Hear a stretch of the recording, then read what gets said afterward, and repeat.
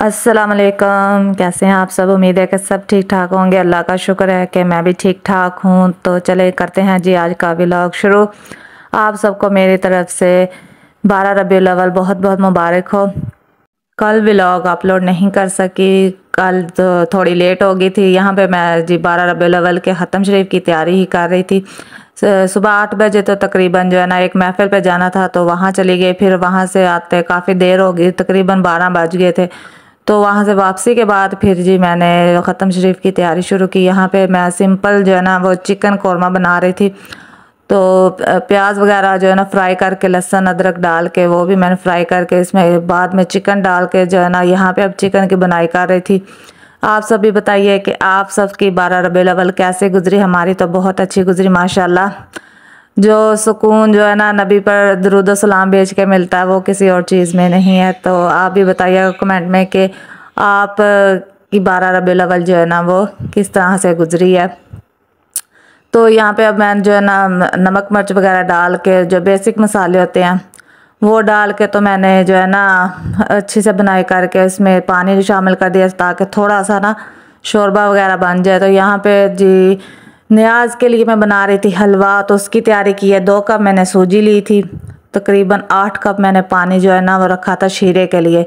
उसके अंदर मैंने तकरीबन दो कप चीनी शामिल की थी तो शीरा बनाया था। तो यहाँ पे अब मैं तकरीबन एक कप घी लेके उसमें दो कप सूजी डाल के जो है ना वो फ्राई कर रही हूँ। जैसे ही सूजी की हल्की सी खुशबू आने लग जाएगी तो इसमें जी जो मैंने शीरा बनाया है वो इसमें ऐड कर देंगे और थोड़ी देर के लिए पकाएँगे तो जी हलवा हमारा जो है ना वो रेडी हो जाएगा।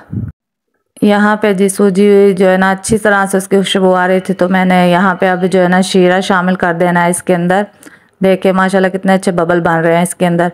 तो यहाँ पे अब मैं पानी जो जो शीरा बनाया वो शामिल कर दिया है तो थोड़ी देर के लिए पकाऊँगी तो हलवा जो है ना रेडी हो जाएगा। हमारे यहाँ तो यहाँ पे रबी लेवल पे ख़ास तौर पे हलवा और नान और पूरी वगैरह और दाल जो होती है ना, उसका, उसकी न्याज दिलाई जाती है। तो मैं यहाँ पे आज नान और हलवे की न्याज देने के लिए हलवा बना रही हूँ। तो देख माशाल्लाह, हलवा जो है ना रेडी हो चुका है। जब भी ऐसे बबल आए और जो है ना हलवा अपना घी छोड़ दे तो तकरीबन वो जो है ना वो रेडी हो जाएगा। तो कुछ जो है ना वो पड़े हुए थे, कबाब मैंने बनाए थे शाम को तो वो भी बचे हुए थे। तो मैंने वो भी फ्राई कर लिए साथ में। तो वो भी मैंने कहा, चलो हतम शरीफ में जो है ना शामिल कर लूँ। आलू और चिकन के कबाब हैं, फिर किसी दिन रेसिपी दूँगी इसकी।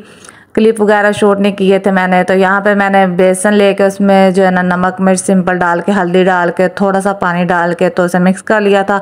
वैसे अंडे में डिप करके भी ये जो है ना बना लेते हैं, लेकिन बेसन में ज़्यादा मज़े के लगते हैं तो इसलिए मैंने फिर बेसन में इनकी, इसकी कोटिंग करके तो मैंने यहाँ पे जो है ना तवे पे बिल्कुल शैलो फ्राई कर लिया था इनको। इतना टाइम को नहीं लगता। बिल्कुल हल्की आँच पे जो है ना शैलो फ्राई कर ले तो बड़े क्रिस्पी से मज़े के जो है ना वो ये तैयार हो जाते हैं। ये देखे, कितना अच्छा गोल्डन कलर आया है इन पर तो इसकी रेसिपी भी बहुत सिंपल सी है, इतनी कोई मुश्किल नहीं है। चिकन और आलू के कटलेट हैं ये। तो ये मैं इंशाल्लाह आपको रेसिपी दूँगी। यहाँ देखे जी, माशाल्लाह, अब हर चीज़ जो है ना वो बिल्कुल तकरीबन रेडी हो चुकी है। हतम के लिए कौरमा बनाया था और जो है ना, सवैयाँ बनाई थी साथ, नान थे। और हलवा जो न्याज के लिए था और नान वैसे जो ख़त्म शरीफ में शामिल किए थे और साथ आलू और चिकन के कटलस थे। तो माशाल्लाह तैयारी तो जो मुकम्मल हो चुकी है। अब सिर्फ़ जो है ना ख़त्म शरीफ पढ़ेंगे और न्याज वगैरह तकसीम कर दूँगी। आप बताइएगा कि आप मिलाद पे जो है ना ख़ास तौर पे क्या बनाते हैं? कोई ख़ास डिश होती है हर इलाके की कोई ना कोई ख़ास डिश होती है। हमारे यहाँ हलवा पूरी जो है ना, ये बांटी जाती है। नान हो गए या पूरियाँ हो गई, ये जो है ना, चीज़ें इस तरह की ना बांटी जाती है, जलेबियाँ, इस तरह की चीज़ें जो होती हैं। तो आप भी कमेंट में लाजमी बताइएगा। वीडियो को लाइक भी ज़रूर कीजिएगा और वीडियो फुल वॉच किया करें प्लीज़। और चैनल को भी जो है ना, सब्सक्राइब कर दिया करें। और बेल आइकन को प्रेस करना मत भूलें ताकि आपको नेक्स्ट वीडियो का जो है ना नोटिफिकेशन मिल जाएगा। फ्री ऑफ़ कॉस्ट है, आपके कोई पैसे नहीं लग रहे इसमें। काइंडली जो है ना चैनल को सब्सक्राइब कर दिया करें। ये था जी मेरा आज का व्लॉग मुझे उम्मीद है कि आपको ज़रूर पसंद आया होगा। तो अपना बहुत बहुत ख्याल रखिएगा। मैं मिलूँगी आपसे नेक्स्ट व्लॉग में। तब तक के लिए अल्लाह हाफिज़। अपना बहुत बहुत ख्याल रखिएगा वीडियो को लाइक ज़रूर कीजिएगा।